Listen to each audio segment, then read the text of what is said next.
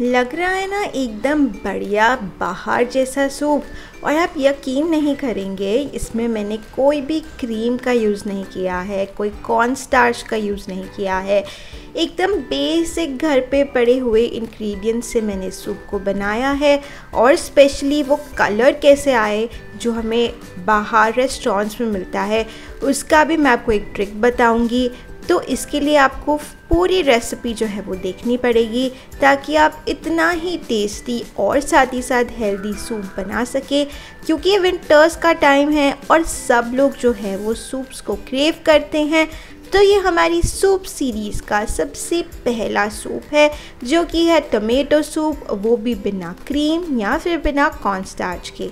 तो फिर चलिए देर किस बात की है, इसको हम बनाना शुरू करते हैं।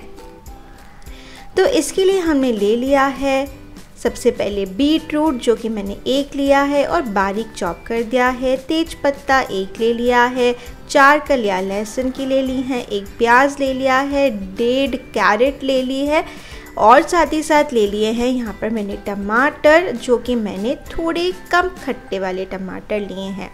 तो गाजर को फाइनली चॉप कर दिया है, और जो ऑनियन यानी कि प्याज था, उसकी जूलियंस काट दिए हैं। अब हम फटाफट से कुकर रख देते हैं। गैस पे एक छोटा चम्मच तेल डाल देना है और डाल देना है इसके अंदर तेज पत्ता, यानी कि बे लीफ और उसके बाद हम डाल देंगे इसके अंदर गार्लिक क्लव्स यानी कि लहसुन की कलियाँ जो कि चार ली हैं। फिर डाल देना है एक प्याज जिसको हमने जूलन्स में काट लिया था। थोड़ा सा इसको हिला देंगे और बहुत ही हल्का सा इसको पकाएँगे।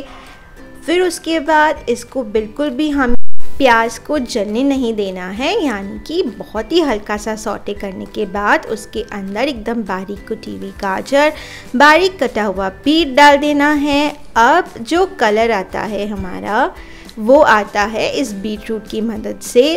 जो साथ ही साथ हेल्दी भी होता है और टेस्ट भी ऐड करता है हमारे सूप में।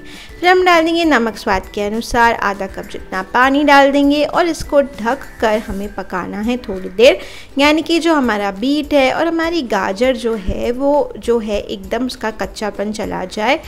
इसके लिए हम इसको ढककर पाँच से दस मिनट तक पकाएँगे। हम इसमें टमाटर जो है वो बाद में डालेंगे क्योंकि टमाटर हल्के खट्टे होते हैं। तो खट्टाई पे जो है ना बीट रूट और साथ ही साथ गाजर इतना बराबर से पकते नहीं हैं, इसलिए हम इसको पहले ही पका देंगे। अब हम देख सकते हैं, हम टमाटर काट रहे हैं तो उसका भी हमें जो एज है वो निकाल के ऐसे मोटे मोटे पीसेस हमें काट देने हैं। इसके लिए हमें कोई बारीक काटने की ज़रूरत नहीं है, क्योंकि इसको एट द एंड हमें ग्राइंड ही करना है, इसलिए हम मोटे मोटे पीसेस काट रहे हैं।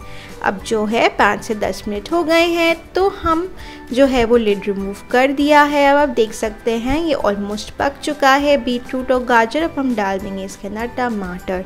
तो ये टमाटर जो है, हमने डाल दिए हैं और उसके बाद जो है, अब हम इसको वापस से थोड़ा सा मिक्स कर देंगे और फिर हम डाल देंगे इसके अंदर थोड़ा सा हमने ऑलरेडी आधा कप तो पानी डाल ही दिया था, हम डेढ़ कप पानी और डाल देंगे। तब हमने पानी डाल दिया है और अब हम जो है आ, कुकर को बंद कर देंगे यानी उसका ढक्कन लगा देंगे और इसको चार से पाँच विसल्स तक मीडियम फ्लेम के ऊपर हमें पकाना है। टमाटर को ज़्यादा टाइम नहीं लगता है पकने में और हमारा जो बीट रूट और जो गाजर हमने डाला था वो पक चुका है इसलिए हमें इसे चार से पाँच विजिल तक ही पकाना है। अब हम इसको जो है वो अनलिड कर रहे हैं यानी कि ढक्कन हटा रहे हैं तो आप देख सकते हैं सब कुछ हमारा प्रॉपर्टी बॉयल हो गया है। अब हम तेज पत्ता निकाल देंगे क्योंकि हम नहीं चाहते हैं कि ये भी ग्राइंड हो जाए साथ में इसलिए हमने तेज पत्ता निकाल देना है ग्राइंड करने के पहले। ग्राइंड कर देना है हम इसको आप देख सकते हैं हमारा जो आ, मिक्सचर है वो रेडी हो गया है। हम उसको फटाफट से छान लेंगे एक छन्नी के अंदर। तो जो है आप बाद में छानने के बाद जो है इसका कंसिस्टेंसी एडजस्ट कर सकते हैं। अगर आपको थिक जैसा हमें रेस्टोरेंट्स में मिलता है, वैसा सूप चाहिए। तो आपको और पानी ऐड करने की कोई ज़रूरत नहीं है और अगर आप चाहते हैं कि आपको थोड़ा लिक्विडी पसंद है, थोड़ा वाटरी पसंद है तो देन यू कैन एडजस्ट अपना जो पानी होता है, वो हिसाब से आप एडजस्ट कर सकते हैं पानी की मात्रा को। आप देख सकते हैं छन के हमारा सूप एकदम बढ़िया रेडी हो गया है।